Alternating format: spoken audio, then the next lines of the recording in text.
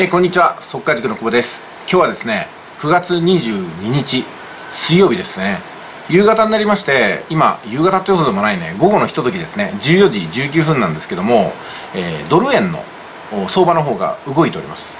えーと、私は108円台の方に向かっていくというふうに前回の動画でお伝えしたんですけども、えー、いい感じでですね上昇してるんですよ。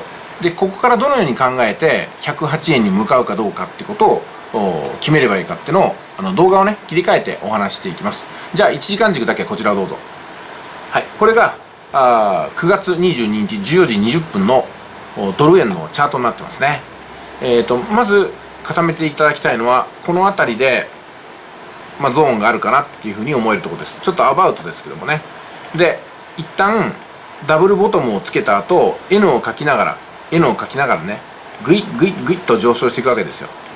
ね、これ今までもよく出てたと思いますけども。で今度はダブルトップを書いて N を書いて下の方に進んでいきましたよね。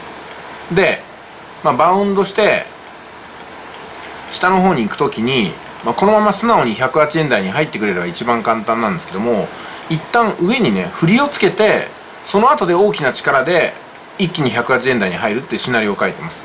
それをどのようにね判断すればいいかっていうのはもうここなんですよ。お分かりの方もいるでしょここ力点がありますよね。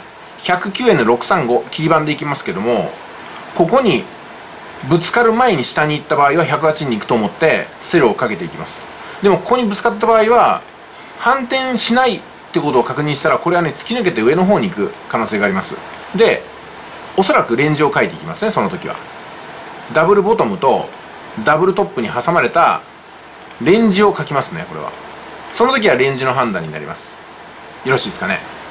でもえっ、ー、とこの辺りで下に向かった時は108円に行くよというふうに私は判断しています。うん。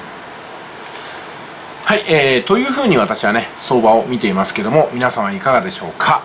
それでは一旦失礼します。